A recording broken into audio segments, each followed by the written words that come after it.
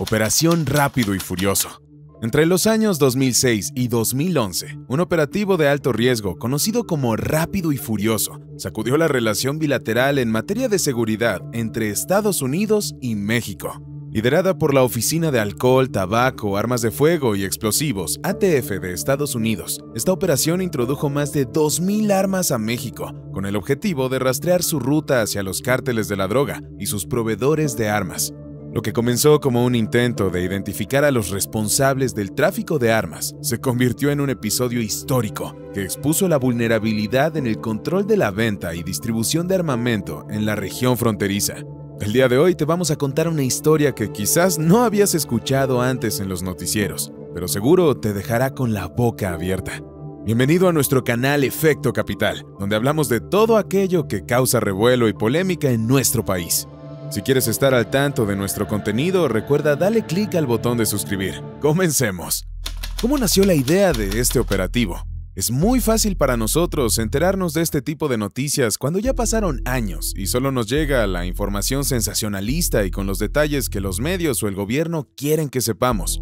Pero ese no fue el caso aquí. Como te contaremos más adelante, poco a poco comenzaron a salir a la luz una maraña de datos que dejaron ver el tamaño de este operativo.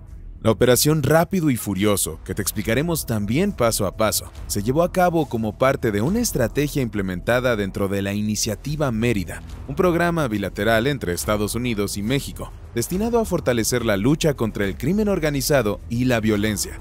Esta iniciativa, de hecho, formaba parte de un esfuerzo más amplio, conocido como Project Gun Runner, que tenía como objetivo principal detener el flujo ilegal de armas de fuego, desde Estados Unidos hacia México. El caso en el que nos vamos a enfocar hoy se inició en octubre de 2009 y fue nombrado Operación Rápido y Furioso, pero en realidad había muchos otros operativos con intenciones parecidas que llevaban nombres como Wide Receiver, el caso Hernández y el caso Medrano. La estrategia detrás de todos estos operativos era permitir la venta de armas de fuego a compradores ilegales bajo supervisión, con la esperanza de rastrear estas armas hasta llegar a los líderes de los cárteles mexicanos. Como nos vamos a enterar más adelante, esta táctica fue objeto de críticas y cuestionamientos éticos, incluso dentro de los funcionarios que participaron en ella, ya que algunos argumentaron que permitir la venta de armas ilegales podía contribuir a aumentar la violencia en la región, en lugar de combatirla efectivamente. Spoiler, eso es exactamente lo que sucedió. Uno de los aspectos más controvertidos del operativo fue el poco control que el gobierno norteamericano tuvo sobre la ejecución del mismo. Siendo Estados Unidos tan quisquilloso para sus operativos, era una verdadera sorpresa cómo saldrían las cosas. De hecho, cómo desembocaría esta estrategia dejaría bajo los reflectores a personas muy influyentes, con todos cuestionando su capacidad para estar a cargo de la seguridad tanto de México como de Estados Unidos. En el ámbito político, la operación Rápido y Furioso se convirtió en un tema candente, con acusaciones cruzadas entre partidos y funcionarios sobre quién era responsable de su diseño y ejecución. También generó debate sobre la efectividad de las estrategias de seguridad fronteriza y la necesidad de una cooperación más estrecha entre ambos países para abordar el tráfico de armas y el crimen organizado. Pero ¿qué fue lo que pasó en la operación Rápido y Furioso que fue tan escandaloso para la sociedad? Ah, aquí es donde comienza lo bueno. Operación Rápido y Furioso. Como ya sabemos, este operativo fue parte de una iniciativa mucho más grande entre los países vecinos para intentar controlar el tráfico de armas y a gran escala el tráfico de sustancias, pero vamos por partes. La operación Rápido y Furioso fue implementada entre 2009 y 2011, durante los gobiernos de Felipe Calderón en México y Barack Obama en Estados Unidos. El objetivo principal era permitir el ingreso controlado de armas con rastreadores o microchips a territorio mexicano para identificar a los delincuentes involucrados en el tráfico de armas y desmantelar las redes criminales. La estrategia involucraba permitir la venta de armas de fuego a compradores sospechosos bajo vigilancia de la ATF, Bureau of Alcohol, Tobacco, Firearms and Explosives, con la esperanza de rastrearlas hasta sus destinos finales y realizar arrestos estratégicos. Era el 31 de octubre de 2009 cuando una pequeña tienda de armas en Phoenix, Arizona, informó a la ATF que cuatro personas sin identificar habían hecho la compra de varios rifles AK-47 La ATF rápidamente captó la pista y empezó a seguir a un traficante de armas que ya había acumulado la compra de 34 armas de fuego y en los próximos meses, junto con sus asociados, comprarían 212 armas más. Lo frustrante de la operación es que al parecer los agentes que estaban infiltrados en la misma no tenían permiso para intervenir. Esto porque, como recordarás, el propósito era precisamente permitir que las armas llegaran a manos de los cárteles mexicanos y entonces sí tomar acción. Recordemos que las armas traían rastreadores. Así, sintiéndose de lo más impotentes, los agentes de la ATF han llegado a contar a medios de comunicación que su instrucción era clara. Solo observa cómo el armamento llega a México y no hagas nada. Así es, el acuerdo desde un inicio y como lo determinó el Departamento de Justicia de Estados Unidos, fue que se permitiera el libre tráfico de las armas para enfocarse en identificar y desmantelar redes completas de tráfico de armas, en lugar de simplemente irse contra compradores de bajo nivel. Pero esto no detuvo a los agentes de sentirse preocupados por el futuro de dichas armas, y en esta ocasión tenían toda la razón.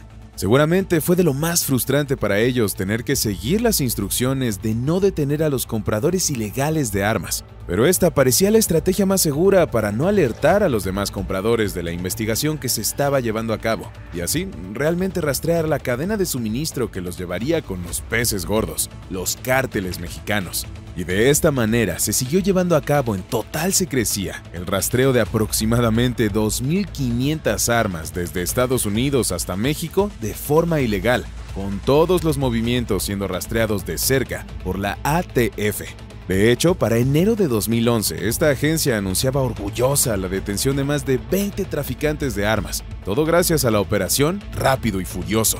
Hasta aquí podríamos alegar que todo estaba bajo control, ¿cierto? Estados Unidos planeó este brillante operativo que tenía la intención de debilitar uno de los brazos más fuertes de los cárteles y dejarlo sin armamento. En papel, hace sentido.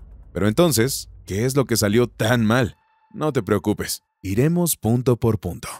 Un operativo defectuoso. Vamos a comenzar por la que se considera la más grave de las fallas en el grandioso operativo de Estados Unidos. Al tratarse de un asunto tan delicado como un gobierno deliberadamente permitiendo la salida de armas de manera ilegal hacia otro país, Cualquiera de nosotros pensaría que México había dado su total consentimiento y también participaba en la operación, ¿cierto? Eh, pues te equivocas.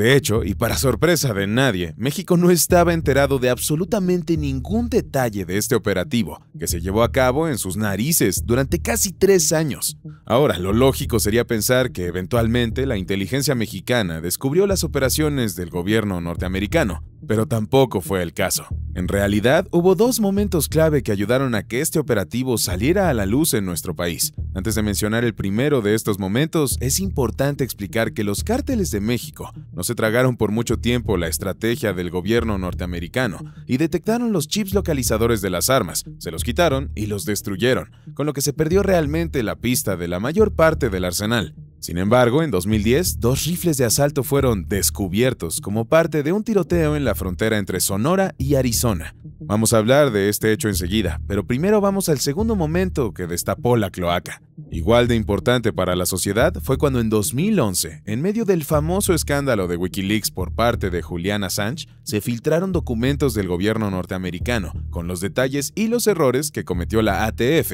en la operación Rápido y Furioso.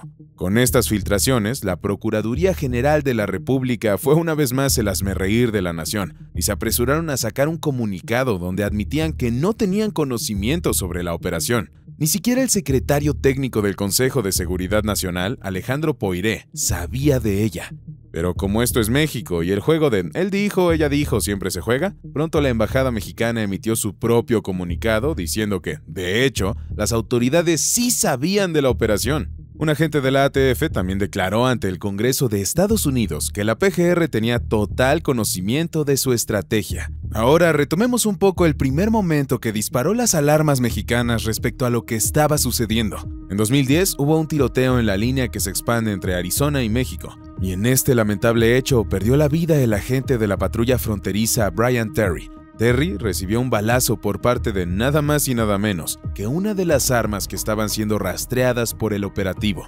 En este intercambio violento hubo solamente un detenido, Heraclio Osorio Arellanes, autor material del asesinato de Terry, quien por supuesto no era ni de cerca la persona que pasó el arma a México. Para rematar, tan solo un año después, el 15 de febrero de 2011, se dio con el paradero de otra de las armas marcadas por la ATF, y de nuevo, de una manera lamentable. Resulta que un comando armado de los Zetas abrió fuego contra un agente de la Oficina de Inmigración y Aduanas, ICE por sus siglas en inglés, llamado Jaime Zapata, de nacionalidad estadounidense, y también su compañero Víctor Ávila, Ambos se trasladaban del entonces Distrito Federal, hoy la Ciudad de México, hacia Monterrey, pero su camino fue interceptado a la altura de San Luis Potosí. En la inevitable investigación que le seguiría a este asesinato, que dejó a Zapata muerto y a Ávila gravemente herido, se encontró que en una de las armas largas utilizadas había uno de los chips rastreadores del operativo Rápido y Furioso. Todo lo que te acabamos de contar se vuelve aún más relevante en el momento que sucedió. ¿Por qué? Recordemos que en estos años se estaba llevando a cabo el gobierno de Felipe Calderón, del 2006 al 2012, un sexenio que ha sido considerado como uno de los más violentos y con mayor movilización contra los cárteles de drogas. El hecho de que el operativo permitiera el ingreso de armas de manera ilegal al país, por supuesto que apoyó a que la situación se tornara aún peor. Este operativo dejó bien claro, por si teníamos la duda, de que las aduanas mexicanas también sufren de una corrupción desmedida. Aunque, como mencionamos anteriormente, se rastrearon alrededor de 2.000 armas, y al final solo se recuperaron 710, y todas ellas participaron en crímenes que ninguno de los gobiernos pudo evitar. Este terrible escándalo dio pie a muchas investigaciones en ambos países y a disputas políticas sobre la responsabilidad y el manejo de la operación. Se reveló que algunas autoridades mexicanas tenían conocimiento parcial o total de la operación, lo que generó aún más controversia y desconfianza en la colaboración bilateral en temas de seguridad. ¿Qué sucedió después?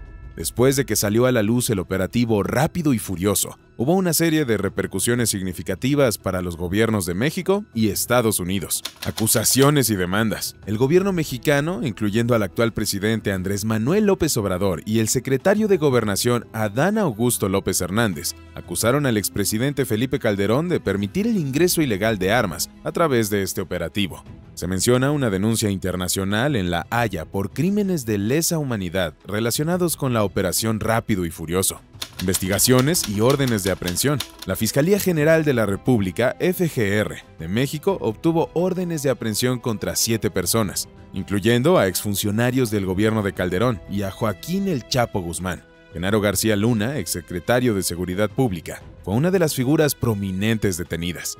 Respuesta de Estados Unidos. El gobierno de Estados Unidos proporcionó información para rastrear las armas perdidas en el operativo. Sin embargo, también se produjo un enfrentamiento con el Congreso de Estados Unidos y críticas a la gestión de la operación por parte de la Oficina del Inspector General del Departamento de Justicia. Impacto en relaciones diplomáticas. La operación provocó controversia y dañó las relaciones diplomáticas entre México y Estados Unidos, afectando la confianza mutua y generando más tensiones políticas de las que ya estaban presentando ambos países.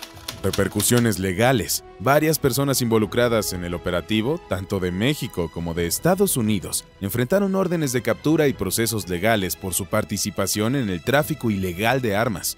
Pero como esto es México mágico, a la fecha nadie ha pagado realmente por estas omisiones y corrupción.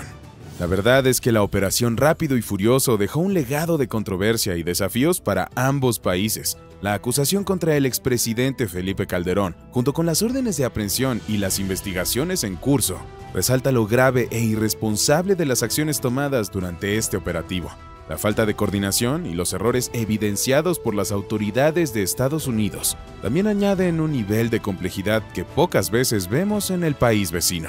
Lo único que hacen casos como este es reiterar la necesidad de un control más estricto en el tráfico de armas en la frontera y una mayor supervisión en las aduanas mexicanas. En última instancia, la operación Rápido y Furioso destaca la triste realidad de que las agencias extranjeras tienen carta abierta para hacer lo que quieran en territorio nacional. ¿Y tú qué opinas? Queremos saber tu opinión. Y recuerda que si te gustó este video, puedes apoyarnos con tu me gusta y suscribiéndote a nuestro canal, Efecto Capital, para ver más contenido como este.